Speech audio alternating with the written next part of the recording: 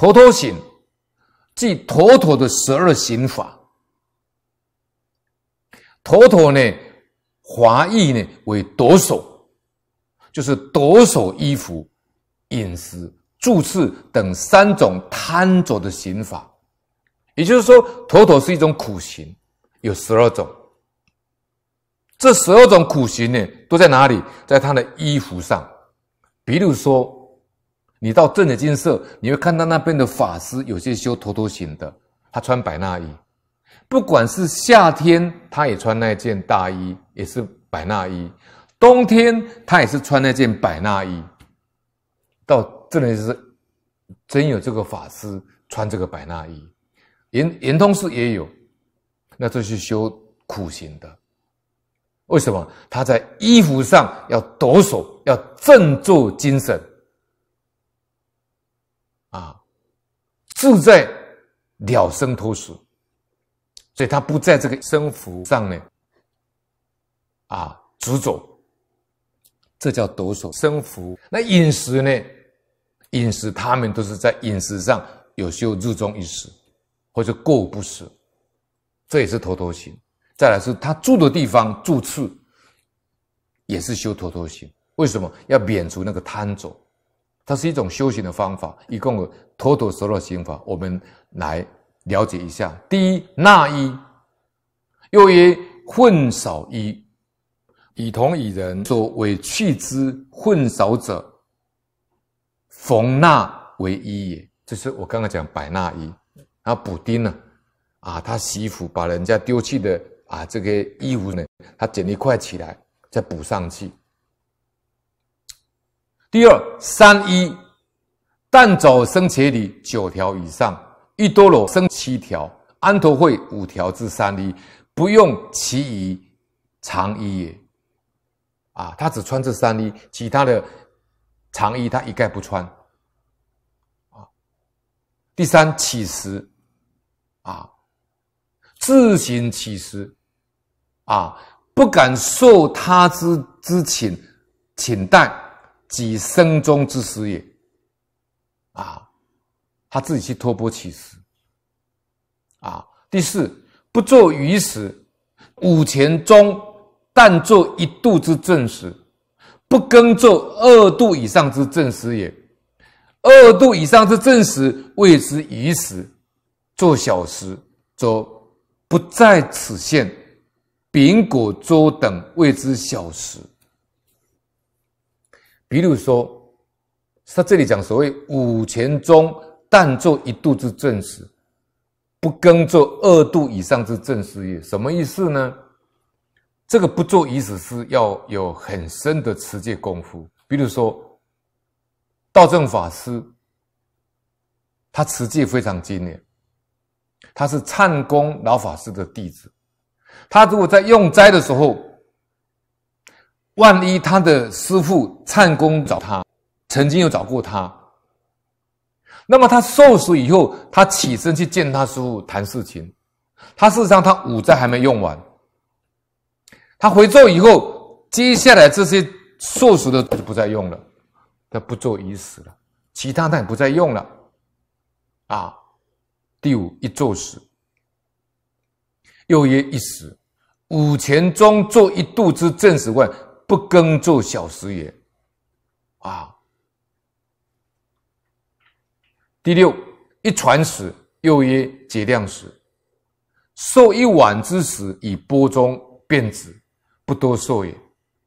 假令一食或多食，则以为有害而节食量也。第七阿难诺处。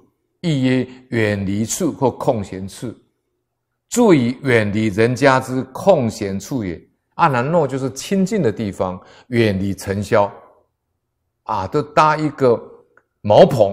像延宁老法师，我们有讨论过，延宁老法师他就是住在阿难诺处，他住在什么莲林寺的上方，啊啊。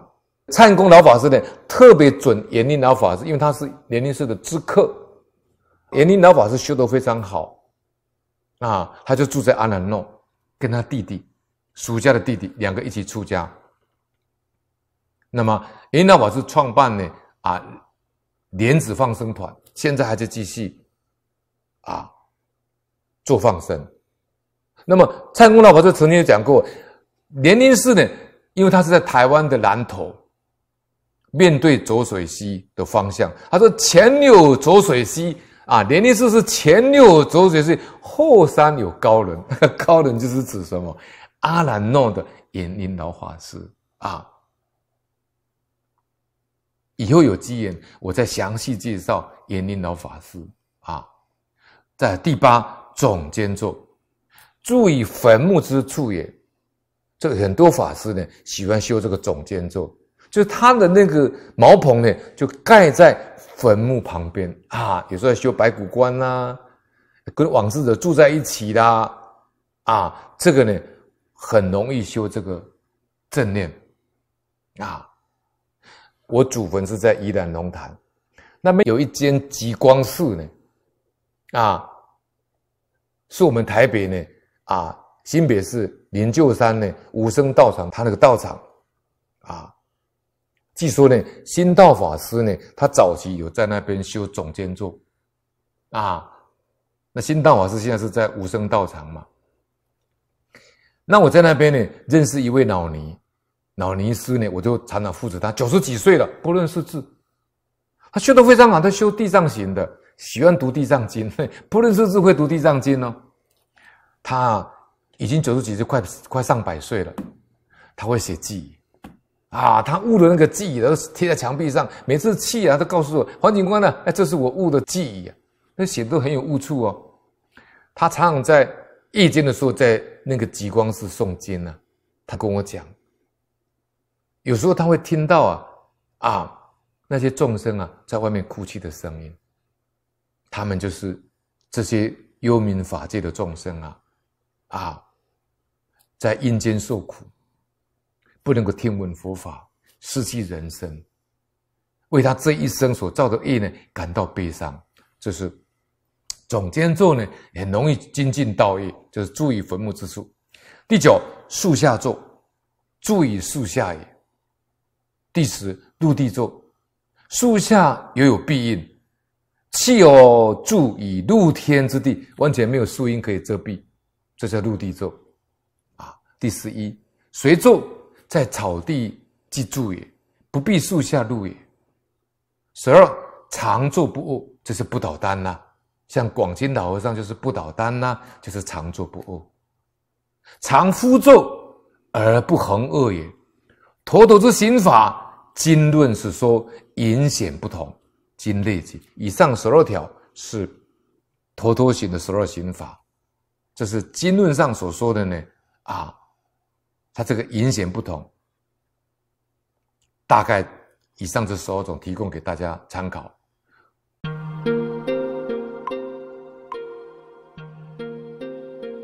第四点呢，老法师说，也许我们自己会认为，我对老师的确很恭敬呐，对佛法也是很恭敬呐。自己也很深入啊，那为什么得不到利益呢？试想，老和尚说：“你想一想，我们对恶人呢，我们也没有恭敬呢；我们对讨厌的人呢，也没有做到恭敬呢。这一点，老实说啊。”我们凡夫容易落入分别之中。我们对恶人，我们总是什么？我们总是产生厌恶的心、嫌弃的心。我们那个恭敬心并没有生出来。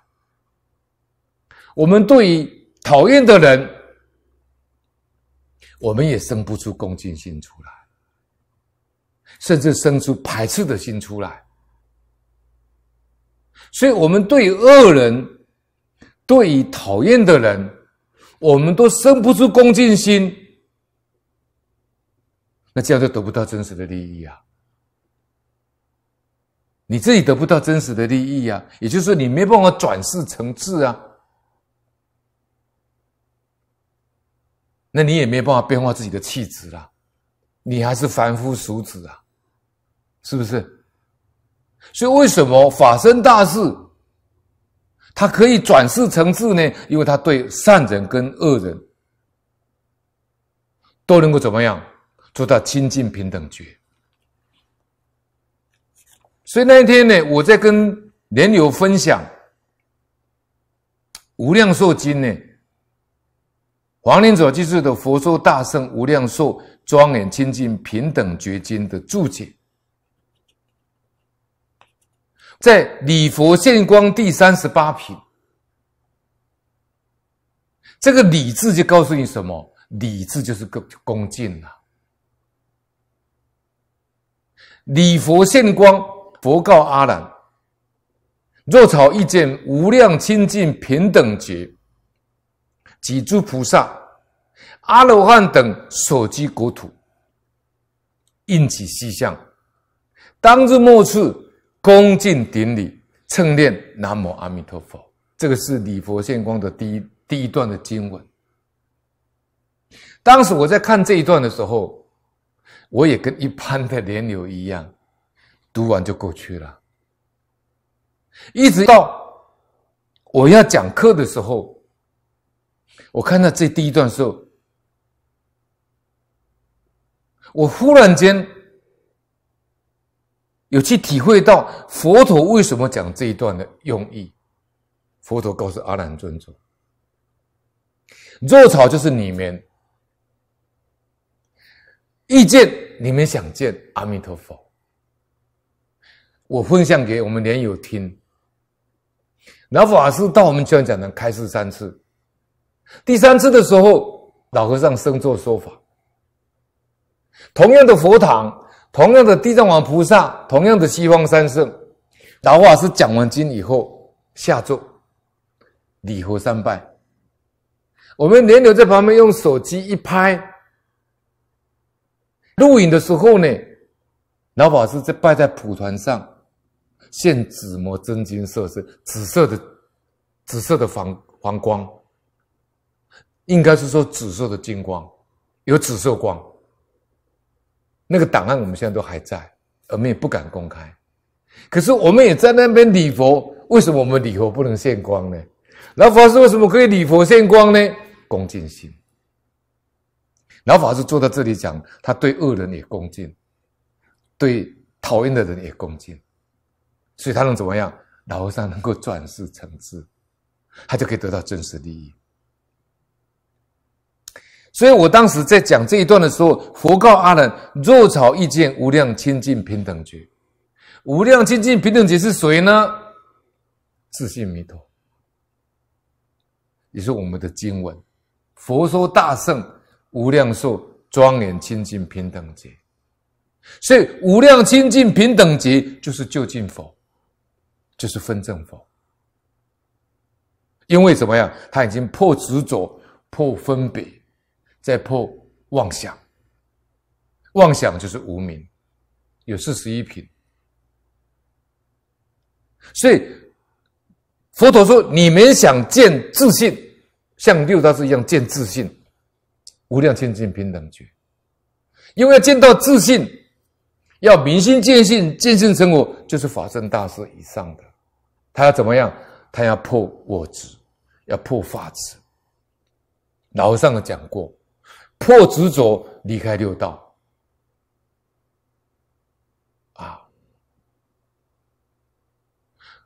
破妄想，就离开十法界了，就正一真了，这个一真法界相应了，所以无量清净平等觉就是离开十法界，如一真法界。为什么是无量呢？我们自信取之不尽，用之不竭。它是离开相对待的，所以叫无量。有量的话是相对待世界，那都是生灭法。那无量呢，就是不生不灭，正得无生。所以若草意见无量清净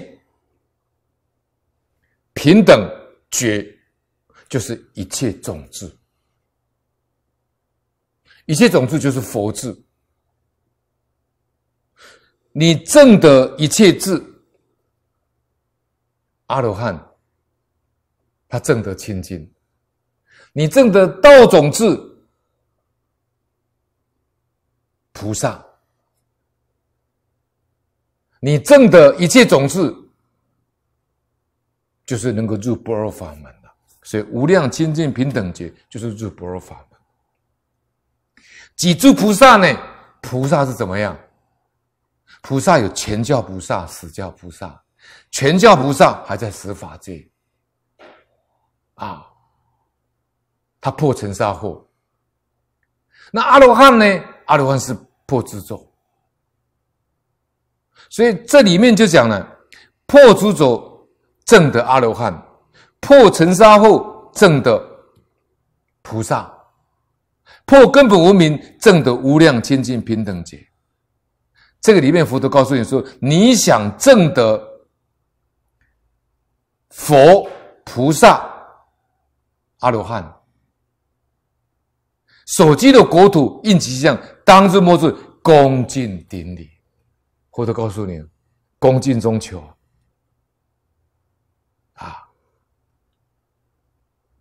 所以在讲到第二段的时候，阿难即从坐起，面系合掌，顶礼白言：“我今愿见极乐世界阿弥陀佛，供养奉事，种诸善根。顶礼之间，忽见阿弥陀佛容颜广大，色相端严，如方金山，高出一切诸世界上。又闻十方世界诸佛如来称仰赞叹阿弥陀佛种种功德，无碍无断。”这段我跟莲友怎么分享？我说阿难即从坐起，面西合掌。面西合掌什么意思呢？西方表表法圆满，合掌代表十法界归一真，还有全十二字，就是合掌，也是代表恭敬。顶礼佛言，我今愿见极乐世界阿弥陀佛。我现在想见阿弥陀佛，那怎么样？要。供养奉事，供养这是什么？普贤菩萨七大供养。老法师说什么叫供养？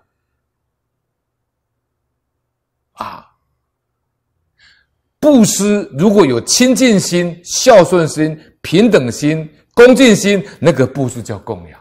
所以供养是普贤菩萨所做的。一者礼敬诸佛，二者称赞诸佛，三者广修供养。他没有说广修布施啊，啊，所以供养奉事，奉事什么？老和尚说了，为众生服务，不要为自己服务，是无我了。无我的时候，一定是供养，一定是为众生服务。种诸善根呢，就是无贪、无嗔、无痴。你如果能够修供养奉事，种诸善根，你不得少善根福德因缘嘛？所以供养奉事是福德，种诸善根是不得少善根。我们说往生西方极乐世界不得少善根福德因缘，所以供养奉事就是修福福德，种诸善根善根三善根，再来敌利之间是因缘。我跟莲友说什么叫顶礼之间？为什么老和尚顶礼下去可以现紫色光？我们顶礼下去为什么见不到呢？为什么礼佛现光，高僧大德可以现光，我们现不了光呢？不是佛光不存在，不是佛光不存在。佛陀跟我们讲。祖师也跟我们讲，佛光就像太阳，就像月亮一样。但是盲人见到太阳，见到月亮，他见不到啊。那为什么盲人见不到呢？因为他有业障啊，他眼睛盲啊，他见不到阳光跟月亮啊。但是不是阳光、月亮不存在啊？存在啊。所以我们见不到佛光，是我们的业障。不是佛光不存在，佛常住常极光净土啊，一真法界啊，是我们的四心变现实法界啊。心现事变呢。所以这个地方呢，我就跟莲友说，敌利之间就是因缘，就是开悟啊。忽见阿弥陀佛，忽见阿弥陀就是什么顿悟，直下会去。容颜广大，就是见到法身德、般若德、悉德德，见了一体三身佛，清净法身佛、圆满报身佛，还有百千里化身佛。为什么容颜广大呢？我们读《藏佛记》说：“阿弥陀佛生金寿，相好光明无等伦，白好婉转五须弥，灌木澄清四大海。”那就是阿弥陀佛的容颜广大。谁见到佛身呢？谁见到佛的法身呢？见到应化身还不是真佛呢？所以佛的容颜没有办法形容，法身骗一切处。我们只能用一一句话来形容：尽虚空遍法界。所以容颜广大是什么意思？我的体悟见到法身了，色相端年，就是相好光明无等伦嘛。这阿弥陀佛身金色，相好光明无等，没有办法去比喻的，如黄金山。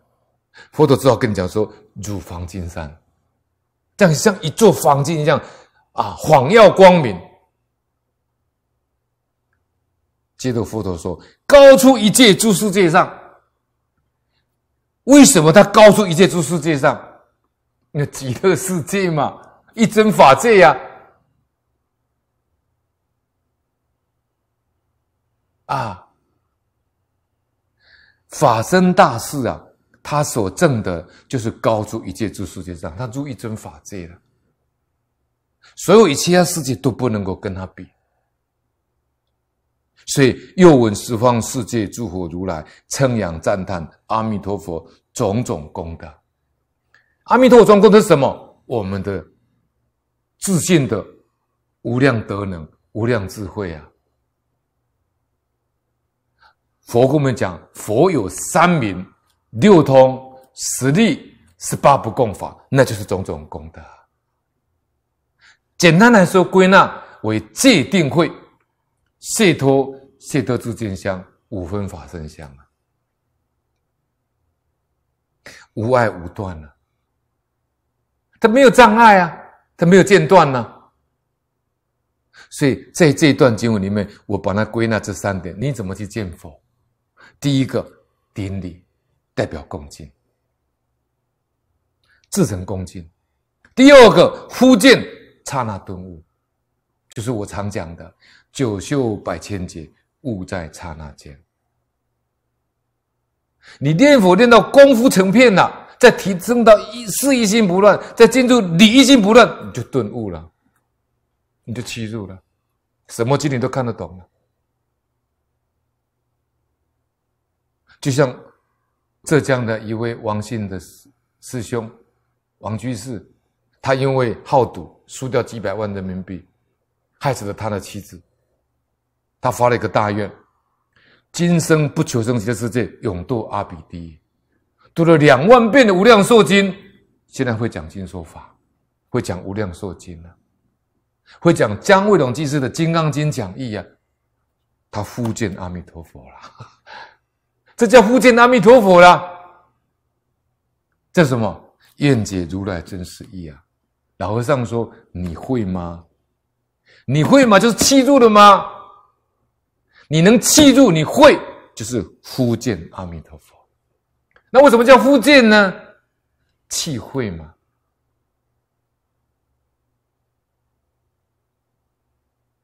理可顿悟，成悟并消，世悉见处。”因次递进，这是古德说的。法身大士还有四十一品无名啊，到等觉菩萨还有一品生相无名啊。所以这个夫见就是刹那顿悟。容颜广大呢是三德密藏。所以呢，这一段经文里面，首先跟你提出的就是顶礼恭敬，恭敬顶礼，跟我们这里讲的恭敬心，老和尚说就可以得到真实的利益。